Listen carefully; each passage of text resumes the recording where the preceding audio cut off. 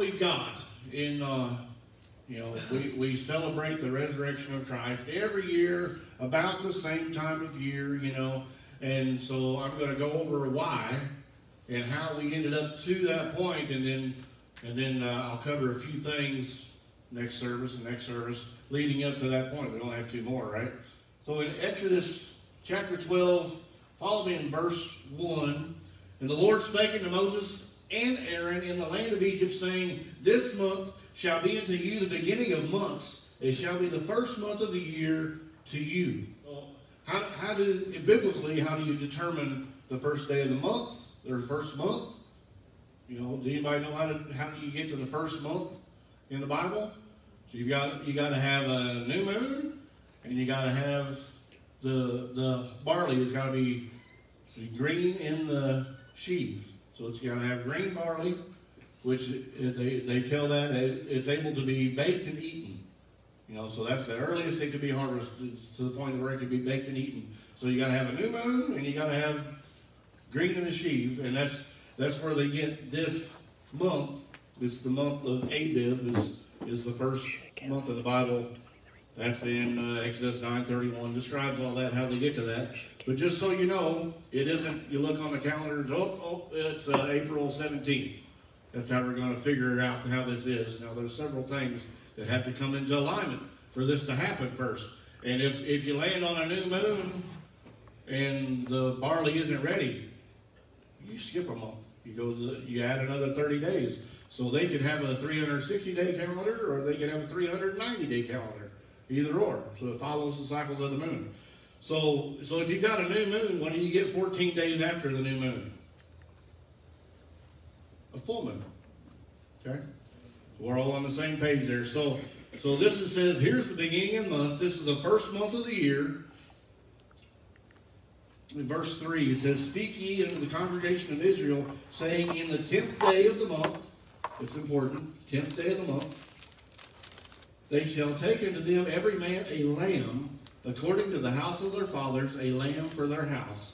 And then it says, What kind of lamb? It says, If the household be too little for the lamb, let him and his neighbor next to his house take it according to their number of souls. Every man according to his eating shall make your count for the lamb. So, so if you can't afford the lamb, you get with your neighbors who can. Because it's important that you all have a lamb together. Okay? And you go to their house, you're going to spend the night at their house. Because it's going to be a, be a big ordeal, a big feast that you're going to have. And y'all going to share a lamb. So in verse 5, it says, The lamb shall be without blemish, a male of the first year. Ye shall take it from out of the sheep or from the goats. So it can be a goat or, goat or a sheep, but it's got to be a lamb without blemish. And further on, you look in you look into Scripture and says whenever they celebrated this in Jerusalem, they had what they call the sheep gate. And the, the priests would, whenever people would come from afar and bring their sheep, it had to be examined. Because if it wasn't a lamb without blemish, if it had something wrong with it, if it had a spot in the wrong spot, or you know a deformity in its teeth or something, it wasn't counted. You'd have to go sell it and trade it off and get a lamb that was good for your sacrifice.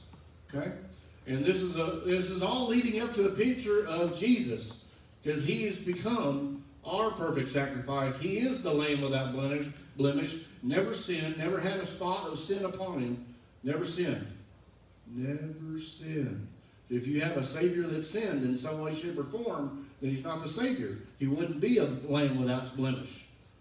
He had to be a perfect, sinless saint Savior, or else he wasn't the Savior. So verse 6, he says, Ye shall keep it until the 14th day of the same month. That would be full moon. So you got uh, you got a light to work by. You know, if you're these, there's three feasts in the Bible that you that they were designated. You had to travel all the way to Jerusalem to celebrate this feast there in Jerusalem, and Passover being the number one. This is a big one. So how great did God plan this out? And now you get to travel by a full moon. Great. I mean, God's going to give you a life to travel by. So it's the 14th day of the same month. So you got first day is a new moon, 14 days in, full moon and the whole assembly of the congregation of Israel shall kill it in the evening. What's, what's the evening? How, what happens when it becomes evening? the sun goes down. That's right. To kill it, kill it in the evening. And it says they shall take the blood of it. This is real important and really cool. You know, I want y'all to pay attention to see this. They shall take the blood of it and strike it on the two side posts and on the upper doorpost of the house, wherein they shall eat it. The two side posts and the upper doorpost. What's that look like? Oh. You think that, do you think God had the cross in mind way back here? You know, almost 1,500 years prior to Jesus being sacrificed, he had the cross in mind on the two doorposts and on the lintel above. On the two doorposts. On the, where, where's the blood? Where is the blood? You know, does it does it carry me, meaning that Jesus had the crown of thorns on his head and bled, and that, it, that he had pierced in his hands? Does it carry meaning? Absolutely carries meaning. And it was deemed to be so way back before there was even a Roman Empire that was going to do this. God knew what he was taking care of. So, so it says, and they in verse 8, they shall eat the flesh in that night, roast it with fire and unleavened bread, and with bitter herbs shall they eat it. And this is all a picture of what we say is communion. Eat my flesh and drink my blood. It's all a picture of communion. And says, Eat not of it raw, nor sodden it all with water, but roast it with fire, his head with legs, and the purtenance thereof. Ye shall let nothing of it remain until morning, and that which remaineth of it in the morning ye shall burn it with fire. So all, all of this is a picture of Jesus that, G, that God set in motion a long time ago, and he's and he's fulfilled it in Christ. Now, so, but I want you to keep keep the uh, the Passover in mind as we go over it this week, as we lead up to it next week, as we see what what's going on and how how Jesus is the fulfillment. And so we're going to plug in some more puzzle pieces to see how this all came about and how it came to be. So in in chapter 26, Matthew, Sheila's going to like this because that's what her Bible study was. She has a women's Bible study over at Park Place. It's apparently it's phenomenal. I've seen her notes, and it's really good. But, chapter 26, it, it says, verse 1, It came to pass when Jesus had finished all these sayings, he said unto his disciples, Ye know that after two days is the feast of Passover, and the Son of Man is betrayed to be crucified. So he's put in the same day, feast of Passover, crucifixion of Christ. Same day, right? And then verse 3 assembled together the chief priests and the scribes and the elders of the people unto the palace of the high priest, who was called Caiaphas, and consulted they that they might take Jesus by subtlety and kill him. But they said, Not on the feast day, lest there be an uproar among the people. But did they sacrifice him on the feast day? Absolutely. Was there an uproar? Not so much. Not so much. And if you remember right, they, they said for, for Barabbas, which his name means son of a father, Barabbas, they said, so release Barabbas and crucify Jesus. And all of the crowd yelled out, crucify him, crucify him. Let's have, let's have the, the awful criminal, the murderer, released. And it's sacrifice the sinless Savior who's done no wrong, no sin whatsoever. So, so Jesus says this, and now we're going to look back. We're going to we're going to take a snapshot. He's going to he's going to take a look what happened a few days prior, four days prior actually, and look and see what what is leading up to this point where the where these Pharisees got to the point where they hated Jesus so much that they wanted to kill him and what they did to get into that process. Because what would, what would we have if, if they didn't want to kill Jesus? Would we have had a crucified Savior? Would we have had all of these prophecies fulfilled? Would we have any of that? Would we, you know, you wouldn't have needed a Judas, would you? If they had not had it in their heart already that they wanted to kill the Savior. So, so in verse 6, it's, it's backing up four days, and he says, Now when Jesus was in Bethany, in the house of Simon the leper. So Bethany and Jerusalem is right next to each other. in the house of Simon the leper. Now, this is very key. Whose house are you in? Simon the leper. What is Jesus doing in a leper's house? right? That's forbidden. You know, unclean, unclean. You can't. You're not even supposed to get around him. And I would assume, you know, it, you know what they say when you assume. So I don't want to say anything, but my my opinion. Let me put my opinion out there. I think that Simon used to be a leper, hmm. and he was one of those that Jesus healed. But how many of us, even even though we've been cleansed by Christ, that uh, name still follows us around, right? That who we used to be, we still have the consequences of who we used to be, right? We, that we have to live with. And I, I kind of think that's what's going on in here. But he's in the house of Simon the leper in Bethany. That's a very key clue there. And then verse 7 In this same house there came into him a woman having an alabaster box of very precious ointment and poured it on his head as he sat at meat. Wow. So she's anointing his head. While he's eating, he's sitting at the table to eat, and this woman takes uh, a, a box made of alabaster, very precious, very pricey, and she pours it out, not on herself, but on the Savior. And talk about an uproar. This is going to cause problems. But as, as Sheila pointed out yesterday when she was talking about this, she says, so this, this woman, if you read another scripture, says she, it says she was a whore. And whores use perfume to cover up the smell. So she's taking this perfume and poured it out not on herself, but on the Savior. Not to cover up her smell, but to anoint him for burial, as we're going to see. Verse 8 When his disciples saw it, they had indignation, saying, To what purpose was this waste? Why are you doing this? Don't you know what this is worth? For the for nine, verse 9, for this ointment might have been sold for much and given to the poor.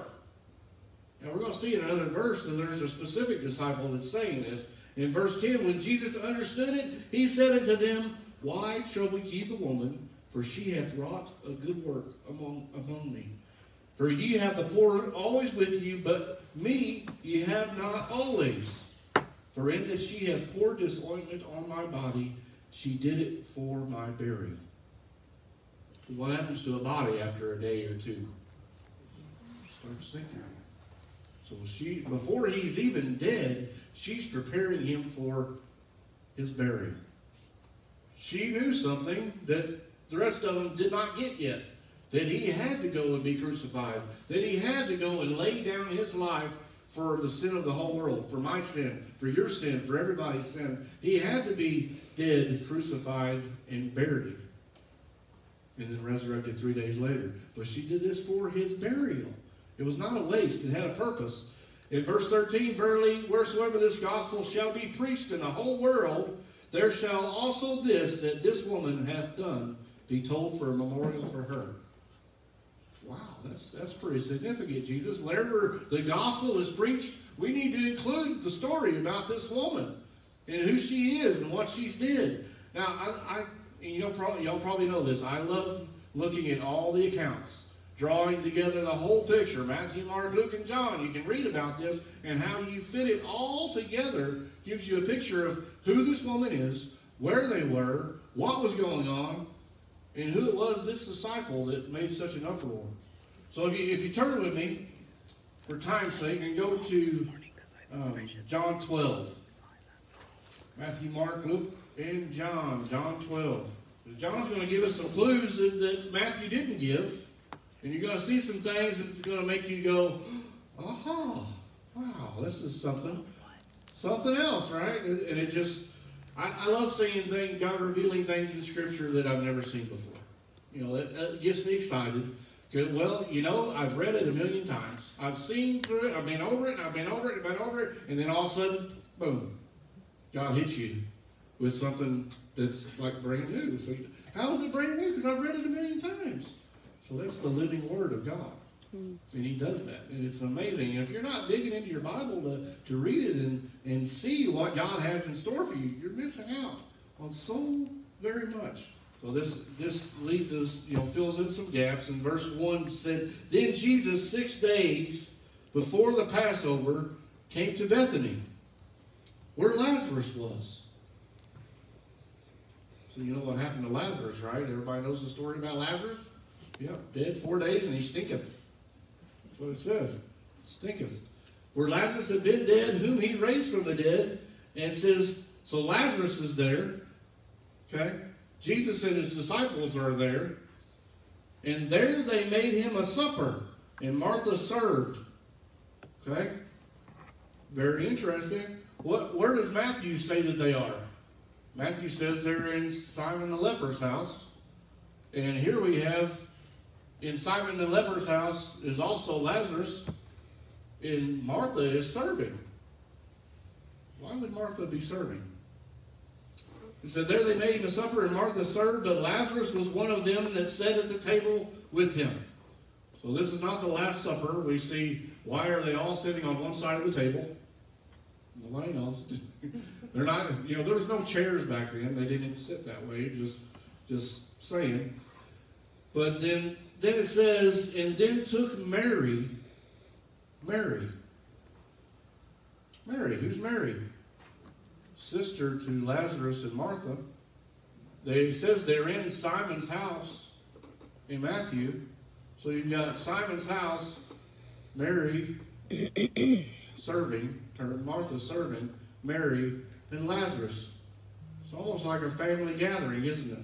So they took Mary a spikenard, uh, took a pound of ointment of spikenard, very costly, and anointed the feet of Jesus and wiped his feet with her hair, and the house was filled with the odor of ointment.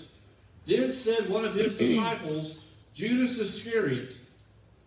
This is where Judas comes in. What, what would drive Judas to the point of betraying his Savior? You ever tried to fill in the blank there?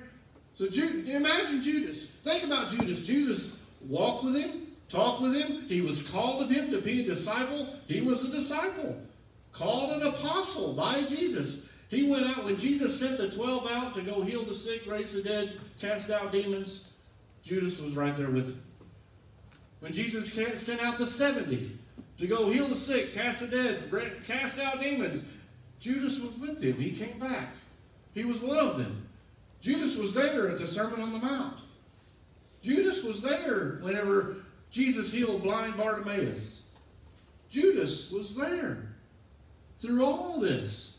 So how in the world could you, I can't fathom, how would Judas turn against Jesus?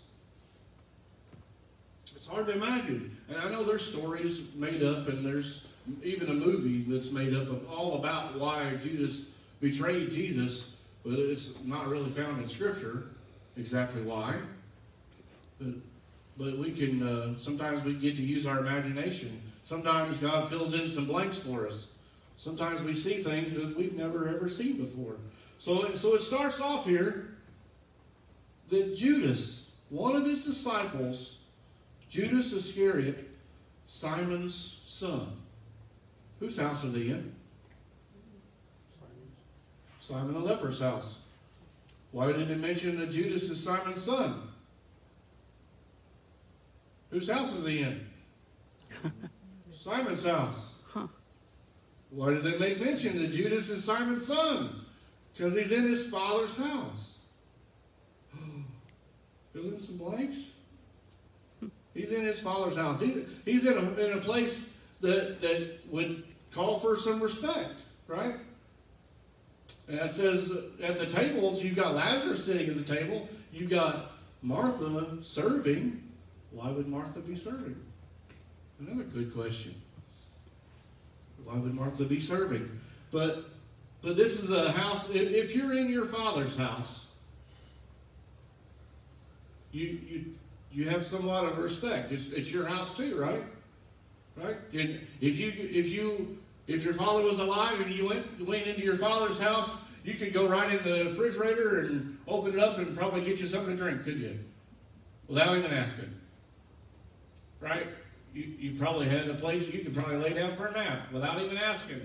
And you could, because it's, it's your father's house. And there's safety in your father's house, but there's also respect in your father's house.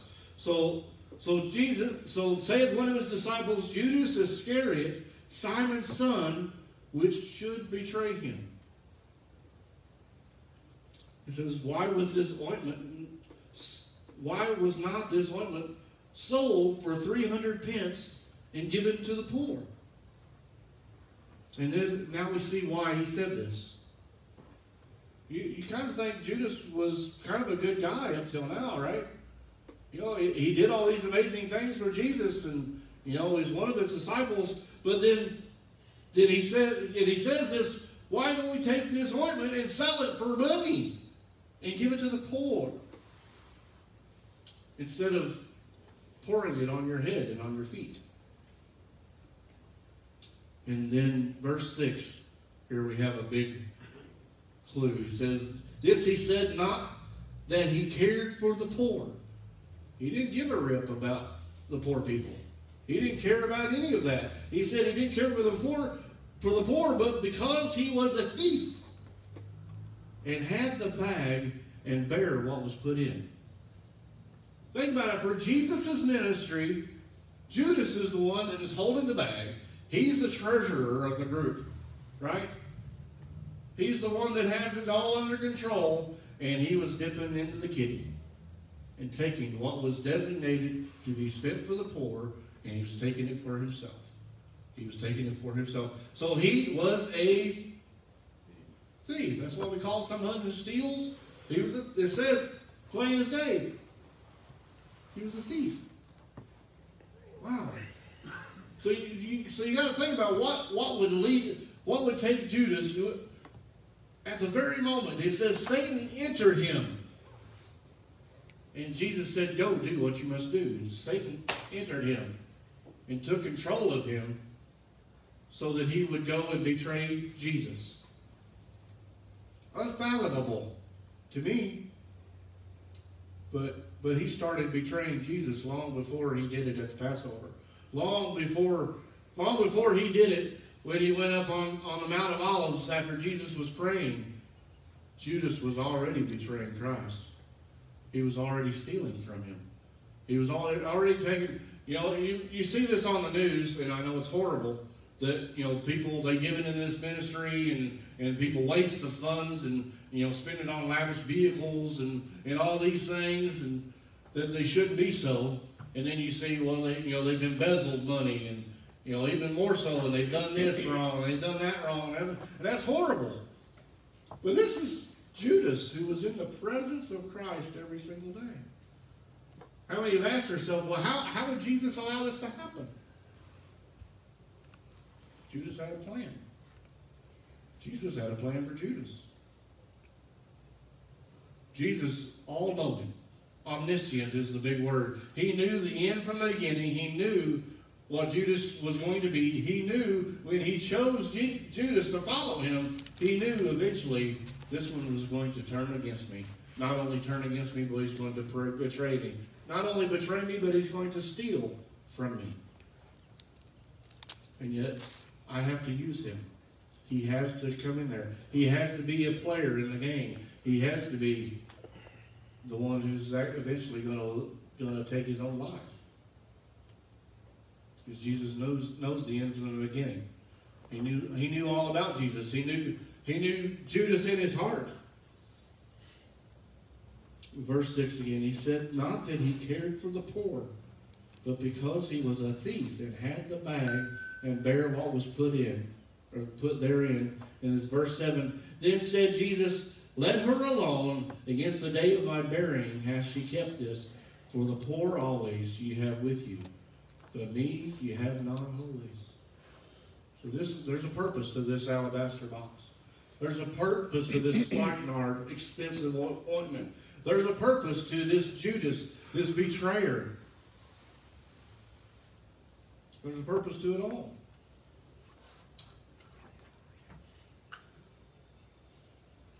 How does, how does this fit in with the whole picture?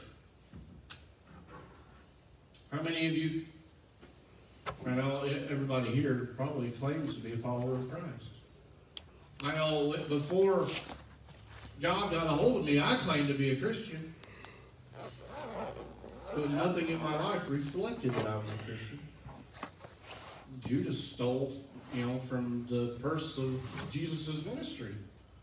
How bad is that? Well, and we look at that and say, well, that's, that's completely awful. But really, it's no better than what we do against Jesus. It's no better, no worse. We're in the same situation, the same state when we sin against God. And we, we take the, the gift that He's given us of salvation, and we're going to read more about the crucifixion and how awful that was, and how despicable and how despised He was, and how hated He was.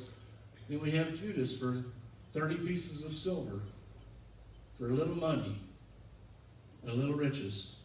He's going to exchange the life of the Savior. What do we exchange for serving Jesus completely, fully, and wholly? Entirely. What would I change? We sing the song, I surrender all. But yet, what are we holding tight to that we won't let go of because this seems to be more important than serving Jesus?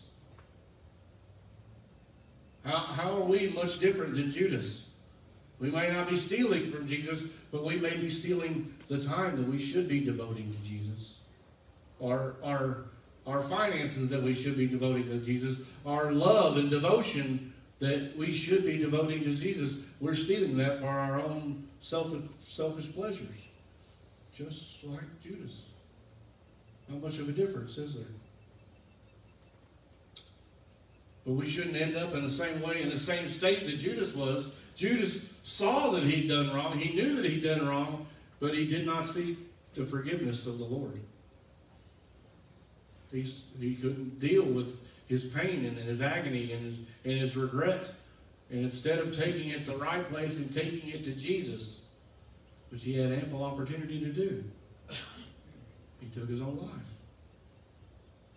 Not seeing the, the rightful escape, what should have been running to the feet of the Savior, said, God forgive me. Because he said, he said to those to those Pharisees when he went and he took the money bag and he threw it back at them and it scattered and he said, said I've sent an innocent man to his death. And he realized what he had done.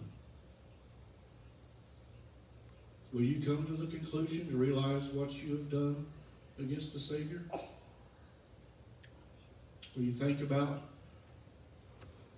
what I'm missing out on by giving my all, by giving my everything, not holding anything back, not doing anything on the side, on the slide, nothing in a secret, because nobody, none of the other disciples said, "Hey, Judas, where are you going with that money bag?